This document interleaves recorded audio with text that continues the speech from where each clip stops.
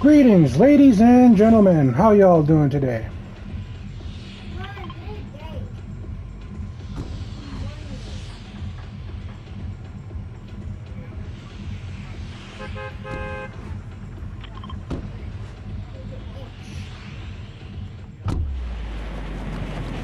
I'm doing great. What about you, bro?